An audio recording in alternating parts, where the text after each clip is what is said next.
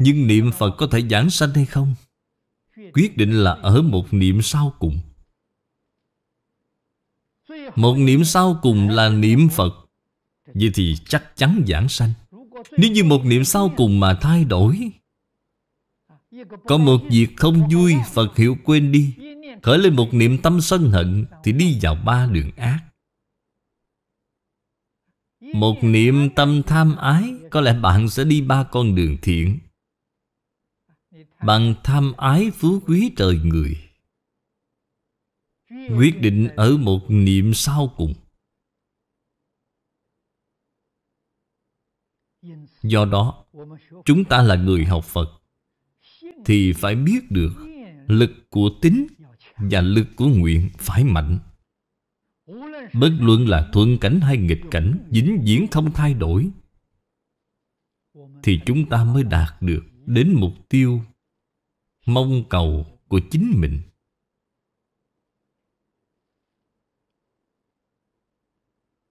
Cho nên, Đoạn ác tu thiện Tích công bồi đức. Chúng ta thường nói là Dùng những công đức này Hồi hướng tịnh độ. Hồi hướng bồ đề. Hồi hướng chúng sanh. Không phải vì chính mình.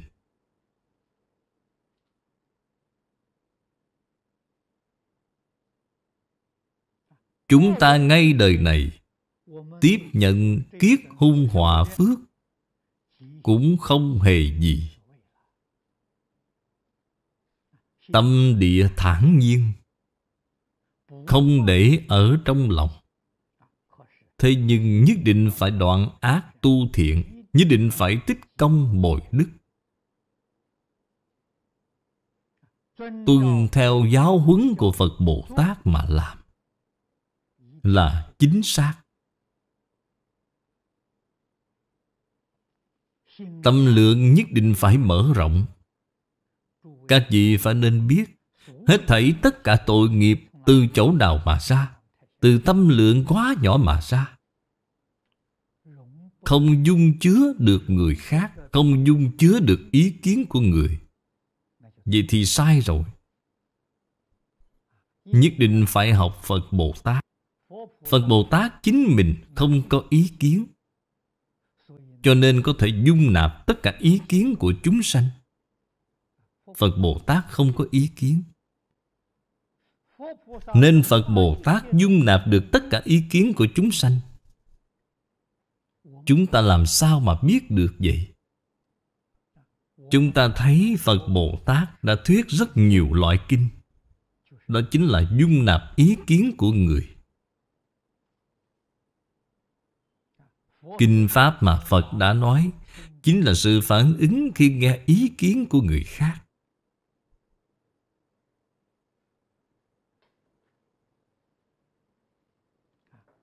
Phản ứng của Ngài Là trí huệ chân thật, Trí huệ cứu cánh, Trí huệ viên mãn.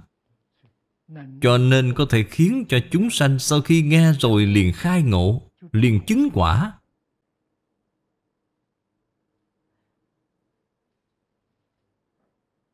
Tuy là khai ngộ là chứng quả nhưng chỉ thay đổi cách nghĩ, cách nhìn của chúng sanh đối với vũ trụ nhân sanh. Tuyệt nhiên không thay đổi đời sống của họ. Tuyệt nhiên không thay đổi thói quen.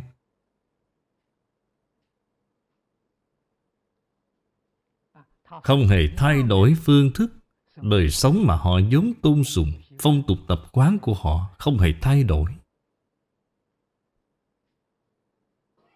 Vậy thay đổi điều gì của chúng sanh? Giúp đỡ chúng sanh phá mê khai ngộ.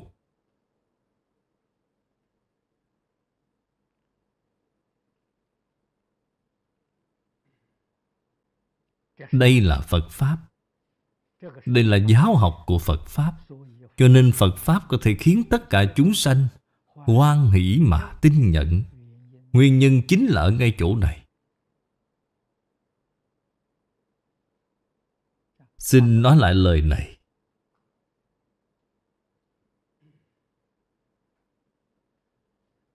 Tóm lại là để hiện tiền, Chúng ta có thể được thọ dụng. Nếu nói quá cao, quá quyền, Thì chúng ta không có được thọ dụng. Lời nói này gọi là lời thừa. Vậy thì Phật không nói.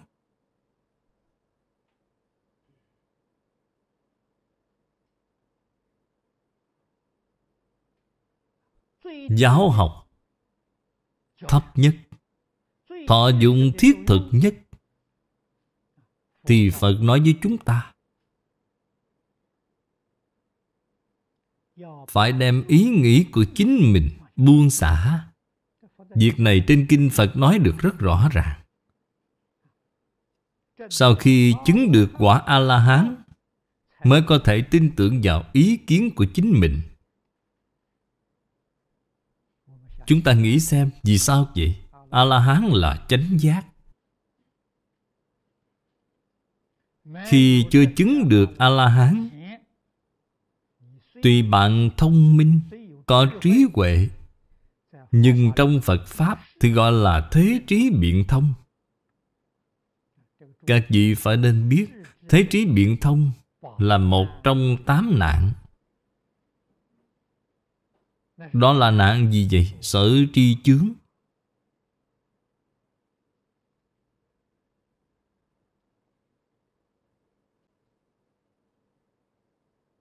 Tại vì sao trí huệ của A-la-hán Được xem là trí huệ chân thật Có thể tin tưởng chính mình? A-la-hán đã làm đến vô ngã. Cho nên có thể tin tưởng chính mình, Chúng ta ngày nay khởi tâm động niệm đều có ngã. Mà có ngã thì đương nhiên Ý niệm của bạn vừa khởi, Bất tri bất giác. Cho dù bạn có ý hay không có ý, Chắc chắn là Nó phải có phù hợp với lợi ích của ta hay không.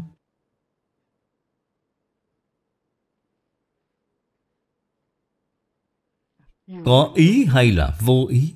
Cái thứ này nó vẫn đang làm chủ bạn. Cái gì là ta? Trong kinh điển Pháp tướng Duy Thức nói Mạt na thức thứ bảy. Chấp trước kiến phần của A Lại Gia Thức, Cho rằng đó là ta. Tướng Tông giải thích càng rõ ràng hơn. Tứ đại phiền não thường tương tùy. Cái gì là ta? Si là ta. Ngu si?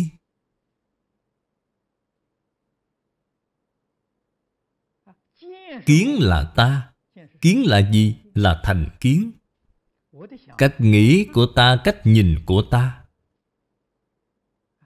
Nhà triết học phương Tây nói, Tôi tư duy nên tôi tồn tại. Cái gì nghĩ xem, Đây không phải là ngã kiến hay sao? Họ nói không hề sai.